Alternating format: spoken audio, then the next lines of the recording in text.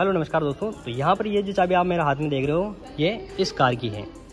और ये है अपने ओल्ड न्यू हुंडई के ग्रांड आई टेन न्यूज़ का मेगना वेरिएंट कीमत की बात करें तो छः लाख इकसठ हज़ार आपको इसकी एक शोरूम कीमत देखने को मिल जाती है। बाकी, यहाँ पर अब आपको इस प्राइस बॉन्ड में क्या कुछ फीचर्स देखने को मिल जाते हैं, उसके बारे में बात करें। तो सबसे पहले आप देख लीजिए की से कि आपको इसमें काफ़ी बढ़िया सी फ्लिप की देखने को मिल जाती है। लो कलर के साथ में यहाँ पर आपको इसमें बूट रिलीज़ का बटन देखने को मिल जाता है। और फ्लिप की आपको इसमें देखने को मिल जाती है।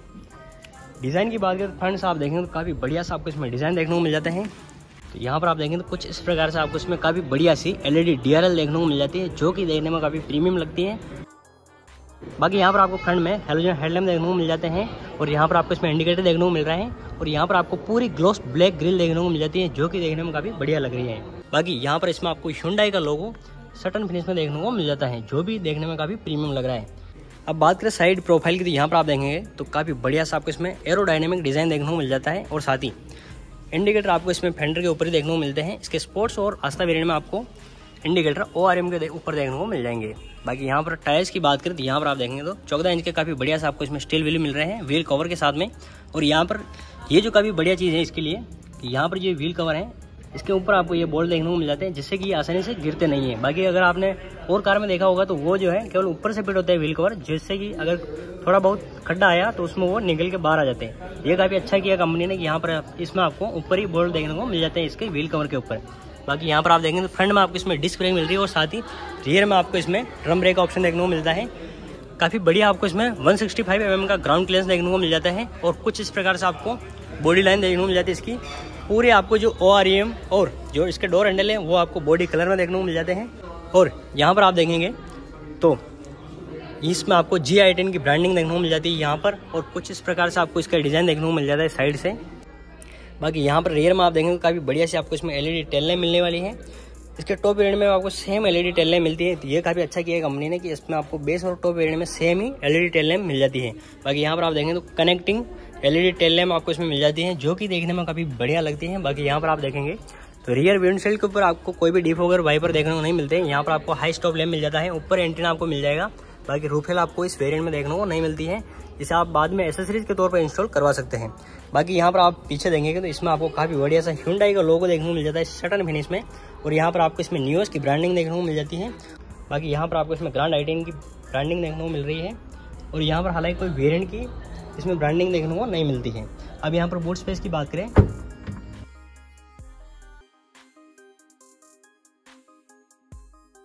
तो यहाँ पर आपको इसमें इलेक्ट्रोमैग्नेटिक बटन देखने को मिल जाता है बूट रिलीज़ के लिए। बाकी यहाँ पर देखेंगे तो काफ़ी बढ़िया सा आपको इसमें बूट स्पेस मिल जाता है। और यहाँ पर स्पेयर टायर की बात करें तो इसके नीचे आपको स्पेयर टायर देखने को मिल जाता है। चौदह इंच का यहाँ पर आपको इसमें स्पेयर टायर देखने को मिल रहा है। One sixty five seventy R fourteen का यहाँ पर आपको इसमें स्पेयर टायर देखने को मिल जाते हैं। बाकी यहाँ पर ये कुछ टूल किट वगैरह इसमें देखने को मिल जाती है। और कुछ इतना सा आपको इसमें काफ़ी बढ़िया सा स्पेस देखने को मिल जाता है। और ये जो सीट्स हैं, ये आप इन्हें बिल्कुल फोल्ड कर सकते हैं। हालाँकि सिक्सटी फोर्टी नहीं आता इसमें, लेकिन इन्हें आप यहाँ से इसे पूरी तरह से इस बेंच को फोल्ड कर सकते हैं। ये काफ़ी अच्छी बात है, अगर आपके पास ज़्यादा लगेज है तो आप इस पूरी सीट को फोल्ड कर सकते हैं। बाकी रियर में आप देखेंगे तो इसमें आपको दो पार्किंग सेंसर देखने को मिल जाते हैं। यहाँ पर आप देखेंगे तो यहाँ पर और यहाँ पर आपको इसमें दो पार्किंग सेंसर मिल रहे हैं और यहाँ पर आपको इसमें नंबर प्लेट की हाउसिंग देखने को मिल जाती है। बाकी यहाँ पर पीछे आपको दोनों साइड में रिफ्लेक्टर देखने को मिल जाते हैं और कुछ इस प्रकार से आपको देखने को मिलती है। Old new grand i ten Nios के मैगना वेरियंट का रियर प्रोफ़ाइल देखने में काफ़ी बढ़िया लगने वाली है आपको रियर से भी। अब यहाँ पर बात करें फ्रंट डोर की तो यहाँ पर आप देखेंगे तो काफ़ी बढ़िया सी आपको इसमें ड्यूल टोन फिनिशिंग देखने को मिल जाती है और साथ ही यहाँ पर आपको इसमें ऑल फोर पावर विंडोज़ के कंट्रोल मिल जाते हैं और यहाँ पर आपको इसमें एडजस्टेबल के साथ में इलेक्ट्रिकली फोल्डेबल ओ आर में यहाँ पर देखने को मिल जाएँगे।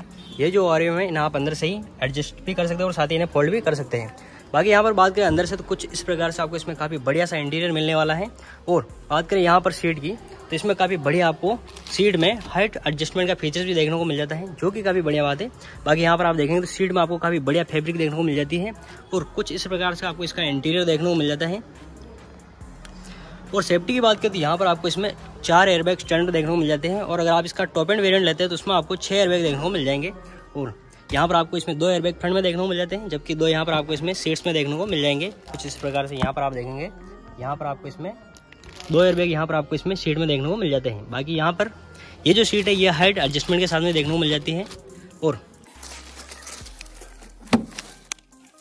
अंदर बात करते यहाँ पर आप देखेंगे तो काफ़ी बढ़िया सा आपको इसमें स्टेयरिंग व्हील मिलने वाला है। यहाँ पर आपको इसमें मीडिया कंट्रोल मिल जाएँगे और साथ ही ये एम के कंट्रोल मिल जाते हैं। और यहाँ पर बात करें, इस मैगना वेरिएंट में आपको एक नया इंस्ट्रूमेंट क्लस्टर देखने को मिल जाता है। अगर आप इसका बेस वेरिएंट लेते हैं तो उसमें आपको जो पहले मिलता था, वही इंस्ट्रूमेंट क्लस्टर देखने को मिलता है। लेकिन अब आपको इसमें एक नया इंस्ट्रूमेंट क्लस्टर देखने को मिल जाता है, जिसमें कि आपको टी टीपीएमएस भी देखने को मिल जाता है। इसके मैगना वेरिएंट से आपको टायर प्रेशर मॉनिटरिंग सिस्टम भी इसमें देखने को मिल जाता है। बाकी यहाँ पर आप देखेंगे तो काफ़ी बढ़िया से इसमें एसी वेरियंट का डिज़ाइन देखने को मिल जाता है। राउंड डिज़ाइन और यहाँ पर आपको इसमें हेडलैम्प कंट्रोल देखने को मिल जाता है और इस साइड में आपको इसमें वॉशर और वाइफर के कंट्रोल देखने को मिल जाते हैं।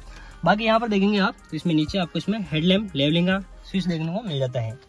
और यहाँ पर बात करें तो यहाँ पर आपको इसमें कुछ इस प्रकार से टू डिन का ऑडियो सिस्टम देखने को मिल जाता है, जिसमें आपको काफ़ी बढ़िया सी ब्लूटूथ कनेक्टिविटी देखने को मिल जाती है। और यहाँ पर आप देखेंगे तो इसमें हज़ार लैम्प का स्विच देखने को मिल रहा है। यहाँ पर बात करें तो यहाँ पर आप देखेंगे तो इसमें आपको मैनुअल ऐसे देखने को मिल जाती है और साथ ही अंदर बात करें, यहाँ पर आप देखेंगे इसमें आपको काफ़ी बढ़िया फास्ट टाइप से चार्जर पोर्ट देखने को मिल रहा है और यहाँ पर आपको इसमें ट्वेल्व वोल्ट का चार्जिंग सॉकेट देखने को मिल जाता है और ये इसमें आपको यूएसबी चार्जिंग पोर्ट देखने को मिल जाता है। ये काफ़ी अच्छा कन्वीनियंट फीचर है कि आपको इसमें तीनों ही पोर्ट देखने को मिल रहे हैं और यहाँ पर आप देखेंगे तो इसमें आपको काफ़ी बढ़िया सा पाँच स्पीड का गियरबॉक्स देखने को मिल जाता है। इंजन की बात करें तो इसमें आपको 1.2 लीटर का इंजन देखने को मिल जाता है, फोर सिलेंडर वाला, जिसके बारे में आगे बात करेंगे। फ़िलहाल यहाँ पर आप देखेंगे तो काफ़ी बढ़िया सा आपको इसमें जो ये कंसोल है, यहाँ पर इसमें ग्रे फिनिशिंग देखने को मिल जाती है, जो कि देखने में इसे काफ़ी प्रीमियम बनाती है। बाकी, यहाँ पर बात करें ऊपर तो इसमें आपको सनसेट मिल जाते हैं। यहाँ पर इसमें कोई, हालाँकि ड्राइवर साइड की ओर मिरर देखने को नहीं मिलता है। यहाँ पर आपको ये माइक मिल जाएगा कॉल वगैरह अटेंड करने के लिए। और इस साइड में आपको वेनिटी मिरर देखने को मिल जाता है। और बात करें यहाँ पर डैशबोर्ड की तो आपको इसमें ड्यूल टोन में डैशबोर्ड देखने को मिल जाती है। ब्लैक के साथ में यहाँ पर आपको काफ़ी बढ़िया सा टेक्सचर देखने को मिल जाता है ये। और यहाँ पर आपको इसमें एयरबैग की बेजिंग देखने को मिल जाती है। क्योंकि दो एयरबैग आपको यहाँ पर देखने को मिल रहे हैं एक्सटेरिंग व्हील के ऊपर, एक यहाँ पर और दो आपको सीटों के अंदर देखने को मिल जाते हैं। ये आपके सेफ्टी के हिसाब से भी आपको ये काफ़ी बढ़िया सेफ्टी प्रोवाइड कर देती है। बाकी यहाँ पर देखें तो इसमें आपको थोड़ा बहुत स्पेस मिल जाता है और यहाँ पर ग्लो बॉक्स की बात करें तो यहाँ पर आप देखें तो काफ़ी अच्छा खासा इसमें आपको स्पेस देखने को मिल जाता है। और बात करें यहाँ पर सेंटर कंसोल की तो यहाँ पर आप देखेंगे इसमें आपको दो कप होल्डर देखने को मिल रहे हैं। यहाँ पर थोड़ा बहुत स्पेस आपको मिल जाता है और साथ ही यहाँ पर आपको इसमें हैंड ब्रेक देखने को मिल जाता है। मैनुअल हैंड ब्रेक है ये। और कुछ ये कहानी है यहाँ की। अब चलते हैं रियर सीट पर और वहाँ पर देख लेते आपको इसमें क्या कुछ देखने को मिल जाते हैं। उससे पहले आप इसका इंस्ट्रूमेंट क्लस्टर देख लीजिए। जैसे आप इग्निशन ऑन करते हैं, कुछ इस प्रकार से आपको इसका इंस्ट्रूमेंट क्लस्टर देखने को मिल जाता है। बीच में आपको इसमें एमआईडी देखने को मिल जाती है। और यहाँ पर जो एसी है, ये भी आपको काफ़ी बढ़िया देखने को मिल जाती है। काफ़ी अच्छी कूलिंग आपको इसकी एसी में देखने को मिल जाती है। बाकी यहाँ पर हुंडई की कार है तो इसमें आपको प्रीमियमनेस काफ़ी बढ़िया मिलने वाली है। अब चलते हैं रियर सीट पर और वहाँ पर देख लेते हैं आपको इसमें क्या कुछ देखने को मिल जाता है।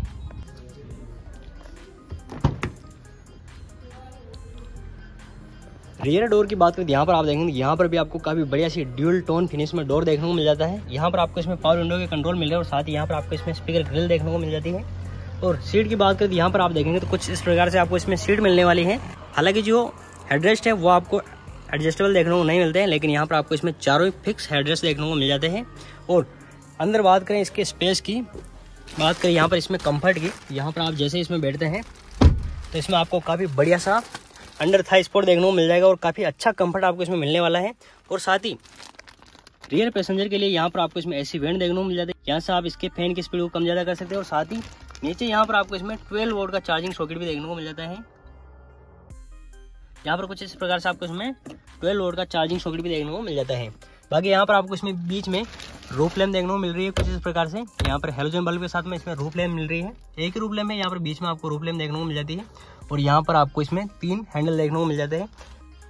बाकी यहाँ पर बात करें बीच में हम की तो यहाँ पर आप देखेंगे तो बिल्कुल नए के बराबर आपको हम देखने को मिलता है। जैसे कि अगर आप तीन जने बैठते हैं यहाँ पर तो वो भी आप कंफर्टेबली बैठ सकते हैं। यहाँ पर आपको इसमें बीच में ज़्यादा हम भी देखने को नहीं मिलता है। जिससे कि आप इसमें आसानी से ट्रेवल कर सकते हैं। बाकी यहाँ पर देखेंगे तो कुछ इस प्रकार से आपको इसका डैशबोर्ड देखने को मिलता है। ये इसके मैगना वेरियंट का कुछ इस प्रकार से आपको डैशबोर्ड देखने को मिल जाता है, जो कि देखने में काफ़ी प्रीमियम लगता है। और special thanks to Chittor Hyundai जिन्होंने मुझे इस कार को कवर करने का मौका दिया। अगर आप ह्यूंडाई का कोई भी प्रोडक्ट देख रहे हैं तो शोरूम की डिटेल मिल जाएगी आपको वीडियो के डिस्क्रिप्शन बॉक्स में। तो वहाँ से आप इन्हें कॉन्टैक्ट कर सकते हैं और ह्यूंडाई की किसी भी कार के बारे में इनसे जानकारी ले सकते हैं।